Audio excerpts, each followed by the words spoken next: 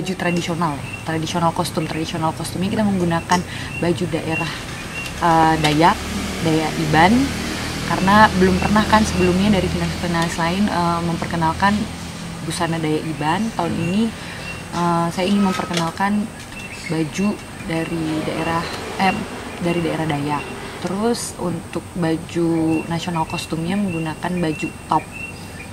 Top dari baju um, dari keraton Kadria kan putri-putri keraton itu menggunakan baju top nah ingin memperkenalkan ke nasional juga bahwa kalau di keraton itu baju yang digunakan oleh ratu dan orang dalam itu menggunakan baju top dari khas keraton eh, keraton Kadria.